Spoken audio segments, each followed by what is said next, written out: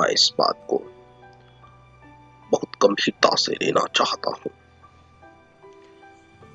क्योंकि मुझे इस बात का पूरा यकीन है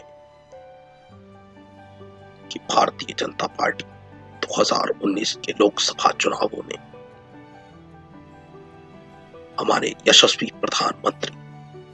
श्री नरेंद्र भाई मोदी की नेतृत्व में ये चुनाव लड़ेगी और प्रचंड बहुमत से भारतीय जनता पार्टी 2019 का लोकसभा चुनाव जीतने वाली है देखिए, मुझे किसी बात का लोभ नहीं है, प्रधानमंत्री पद का लोभ नहीं है।